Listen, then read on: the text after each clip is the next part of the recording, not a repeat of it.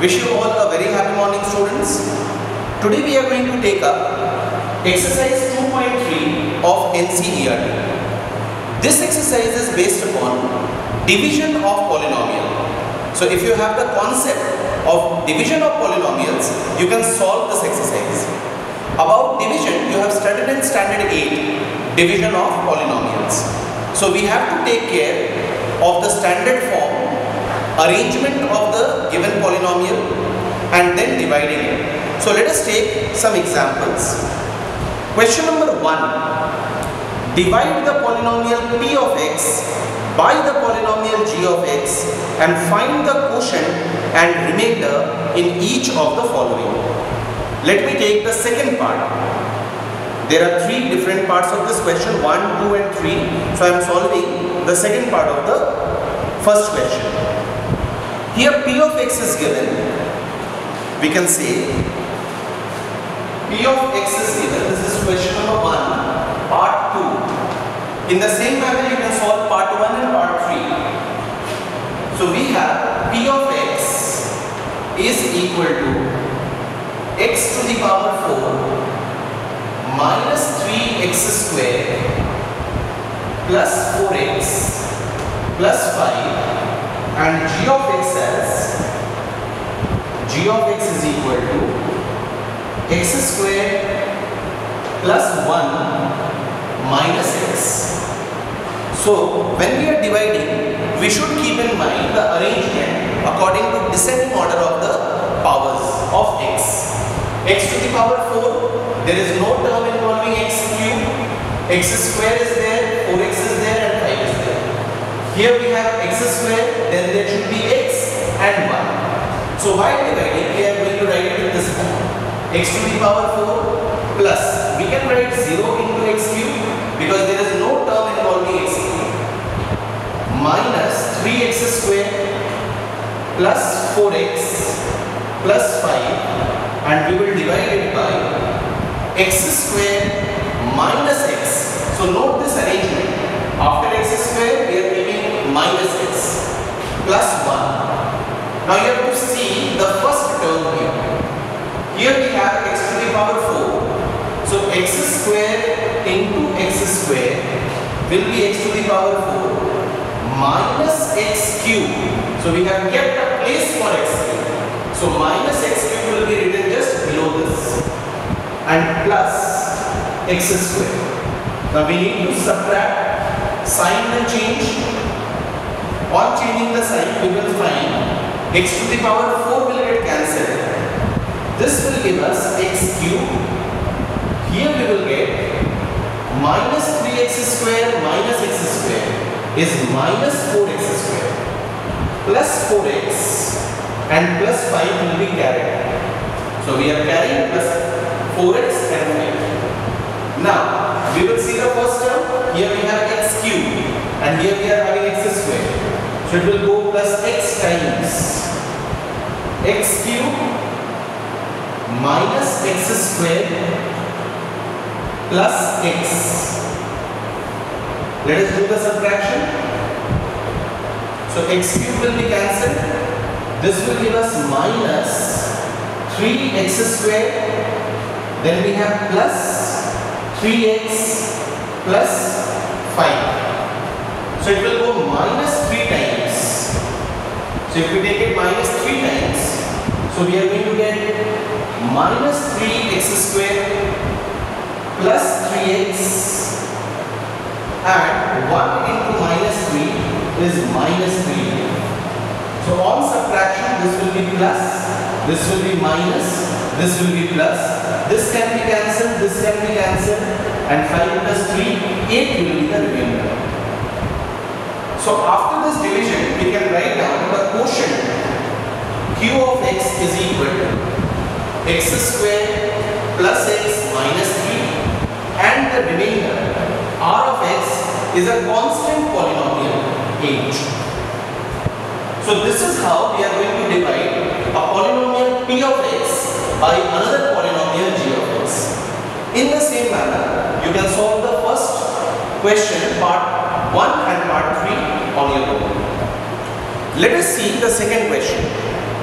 Check whether the first polynomial is a factor of the second polynomial by dividing the second polynomial by the first polynomial. So we have to check whether the first polynomial is a factor of the second polynomial. Now the concept is if the first polynomial divides the second polynomial exactly, it means the remainder is equal to 0. In that case, we will say that the first polynomial is a factor of the second polynomial, otherwise it is not a factor if the remainder is not equal to 0. So let us try to solve this question. This is also based on division, but the question is asked in a different way. Same question on division is asked in a different. So let us check. Question number 2, first part.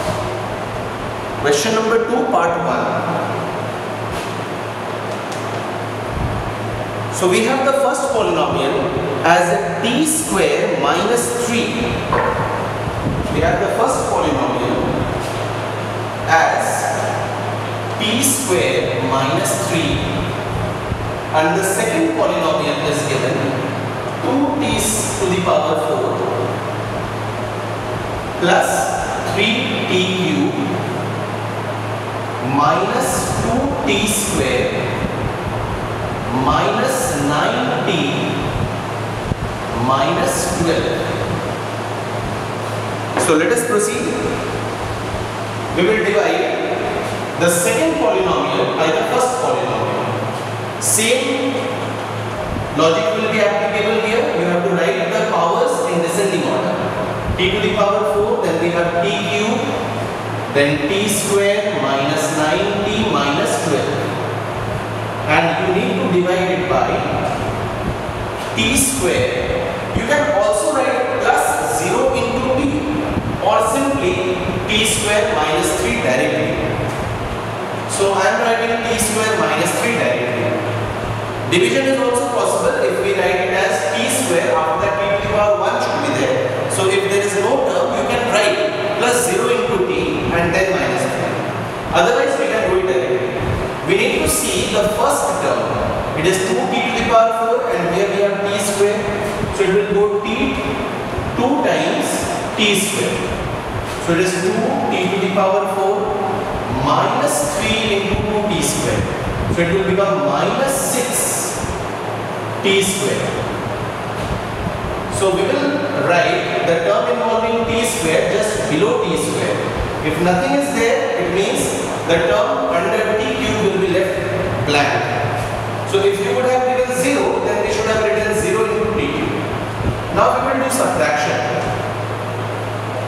2t to the power 4 will be cancelled out.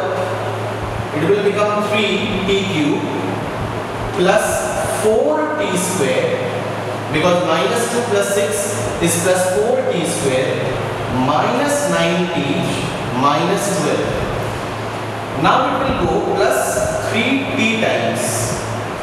So it will be 3 into t cube and minus 9t. 3 3s are 9t. We will do the subtraction minus plus sign will be changed. This will be cancelled out. We are getting 4t square minus 12. Now it will go 4 times plus 4 plus 4. So it will be 4t square minus 12. 3 4s are 12. On changing the sign, this will be cancelled, this will also be cancelled, remainder is 0. So you have to find out whether the first polynomial is a factor of the second not. So you will write since r of x is equal to 0, that is, since the remainder is equal to 0, therefore the first polynomial or you can write the polynomial directly.